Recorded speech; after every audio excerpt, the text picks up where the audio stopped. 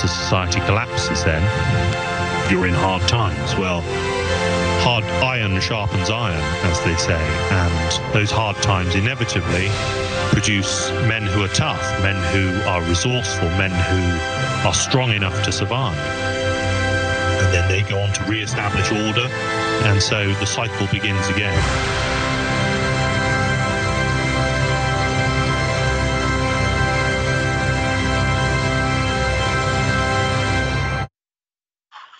So that is the end of men coming soon from Tucker Carlson. The end of men is the title that they landed on. They were running with finishing off men, but they figured that's a bit too on the nose. Yeah, so yeah. The end of men, which Ending talks men. about Mhm. exactly it is the it is the need for strong men. And what is a strong man? Well, a strong man is a guy who like takes weird baths and and suntans his scrot. I guess Francesca. I guess strong men are ones with really tan sacks. I suppose. What do you think?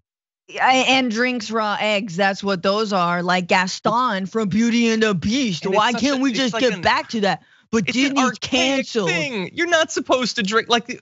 We've learned things about nutrition in the last 40 years. That's so purposefully a throwback. They Nah, know that's not salmonella's for bitches, man. You you you like a real man? Real men don't get salmonella. I'm made of salmonella. Oh my god. Anyway, look, it's um it's a documentary about the total collapse of testosterone levels in men, which has been noted in medical studies. That's a thing. Not not a collapse, but a lowering. Uh, that's been attributed to an aging population and other comorbidities.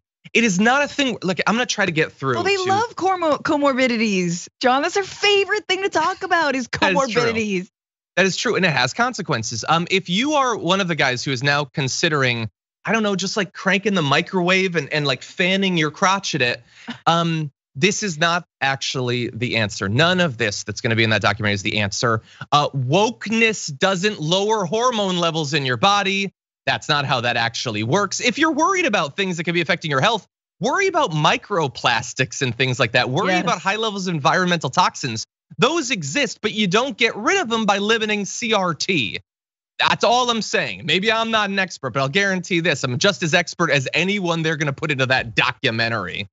Okay, this has been pointed out very crassly online multiple times, but I do want to say the right's position is supposedly uh, that the left and I don't know, yeah, Disney, um, M&M's, whomever, uh, is if like making men effeminate and turning them gay. And I got, I just gotta point out, you can't watch that trailer and not see how homoerotic it is. Like it is just I'm sorry. I'm it's just come on.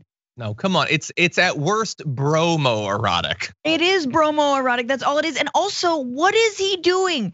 When I first saw He's the, the tanning charging, His nuts. So That's what that- he's doing. so okay, apparently he's tanning his testicles, which is literally the last thing that I could imagine. First, it looks like a giant COVID test. It looks like he's putting his junk up to a COVID test and being like, is it positive? You know, that's what it looks like, number one. Then I'm like, is he charging himself like a Tesla? Is that the future?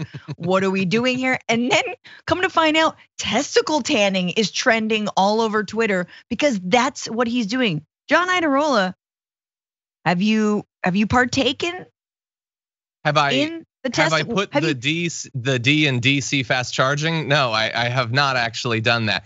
You know, I gotta say too, like you're pointing out, that's not where my criticism of this is gonna lie, but a lot of people are pointing out that the imagery is interesting for a movement that focuses so much on demonizing the LGBTQ community. yes. Um, they they have, as a general policy, up until like today, demonized any man who like maintained his body hair, cared about his Yes. appearance. Then they jump immediately to no, that's not good enough. Generalized skin cancer is not good enough. You need to pump your testicles full of cancer directly at the source. That's will that'll increase the testosterone.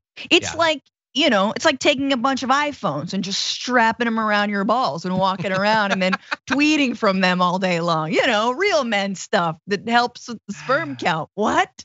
Yeah, I look, I gotta read some of the responses. Nikki Ramirez, who I think did more than anyone in, in making this go viral, yeah. says men will literally put their balls in a toaster instead of going to therapy. Um, I love it. Uh, Justin says Tucker would get arrested if he showed this video in a Florida classroom. Great point. It's so needlessly sexual.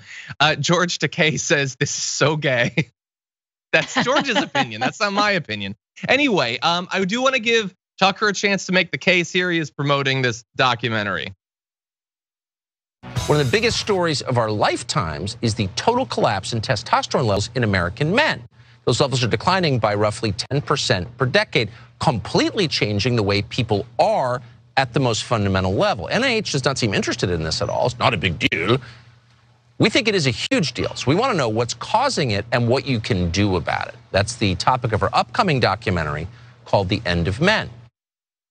Okay, so first of all, to be clear, yes, scientists are very much looking into this and many other long-term changes across the world population due to a number of different toxins. So again, where he doesn't con- like continually inspire suspicion and fear of expertise, he just ignores that it actually exists because he doesn't want to bring on the scientists. He doesn't want to talk about perhaps no. regulations of uh, industries that are polluting the environment and leading to this.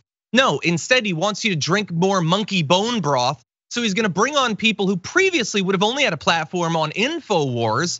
He instead is going to platform them on Fox News and tell you that um, that being a man fundamentally isn't about some sort of inner strength or understanding or mental wellness or whatever. It's about a tan scrote, nothing more.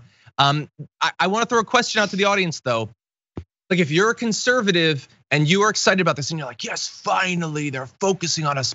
Do you believe that Tucker Carlson has ever or will ever do any of the things that he just profiled in that? Do you think that he's obsessed with getting some UV rays on his lower body? Do you think he's doing the ice bath? Do you think he's flipping truck tires? Do you think he's doing any of that? No, no, you are being conned. How can you not see this? These are incredibly wealthy people who understand they've identified the fears that you have deep inside of you, and they are playing you for money and clout. It's as simple as that. With very, very pale testicles, just the palest. Oh my God, the so whitest of the white, so just the, the face of the moon. Um, egg. That's all it is. No. Maybe there's a bow tie on it. Other than that, there's yes. nothing. There's no imperfections. There's no. It's never seen the sun. Um, no, you're exactly right. Like none of it is going to be at all scientific. Look at that.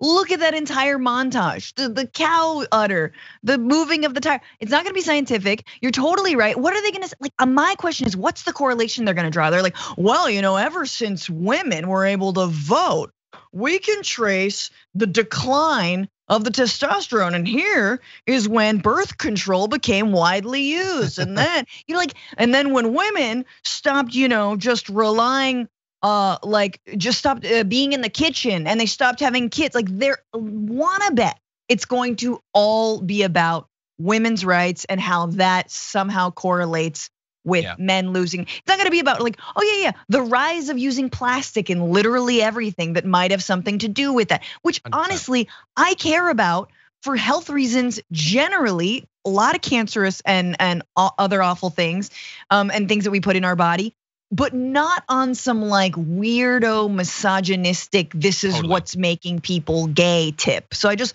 but then again, we could all arrive at the same problem, which would be giant corporations getting away with poisoning people, but like they're not gonna actually do that or even advocate regulation to yeah. rein any of that in. I can't I, believe we're taking this seriously. yeah, well, I speak for yourself. I'm not taking. I mean, he's a serious threat. I'll give you that. Also, I'll give you a call to action. If you are a uh, conservative man or even a liberal man, and you are fundamentally continually terrified about whether you're alpha enough and whether you're strong enough, uh, I would say as a starting point, um, being terrified of everything around you is hardly a position of strength as a man. Uh, his business plan is to make you terrified constantly of everything, to leave you a sniveling, shivering mess of a man. That's what his business is. So if you'd like Just to be like a stronger him. man, change the channel, honestly.